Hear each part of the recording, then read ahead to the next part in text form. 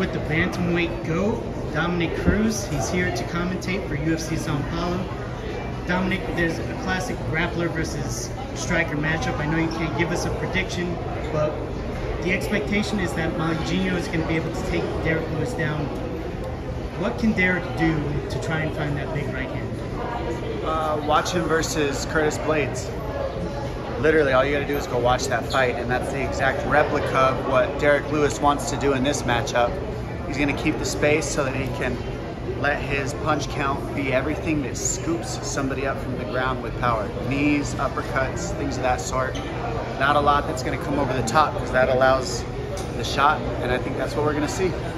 Right now, there were rumors that you were going to welcome Deiveson Figueiredo into the bantamweight division. I don't think that fight materialized. Do you have a fight lined up? Are you planning to fight sometime soon? What can fans expect? Yeah, I do want to fight and keep the fans. Thank you, fans, for sticking with me. I'm, uh, I had to repair some things. I got three fights, repaired some more things, and now I'm back on track again. So, look at the fight beginning probably 24. That's the goal. Now, Sean O'Malley is rumored to be lined up against Chito Vera. Aljamain Sterling and Rob Kvaratskhelia, they took issue with that. They say that either Aljo deserves the rematch or Rob deserves a title shot.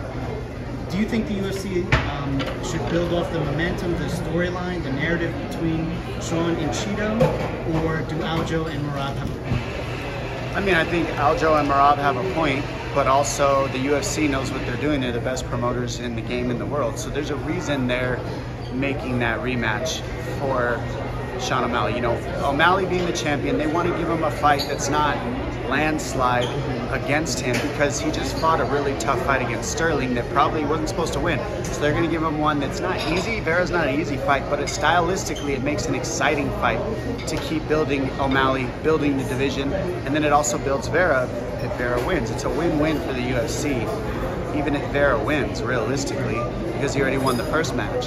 So you kind of got to make that because of the loss, I think. So I get both sides of the spectrum. I get the fighter view saying all these guys deserve it right away, we're in line. And then I also get the UFC's view understanding how to promote fights. That's what they do. Last question. 135 is absolutely stacked right now. There's four former champions in the top 10, including yourself. Do you think that bantamweight is officially the most stacked division? Because traditionally people say that it's lightweight. Is it now I've always thought that. I mean, I people don't really know the history, but the WEC this weight class did not exist 10 years ago. It just was non-existent.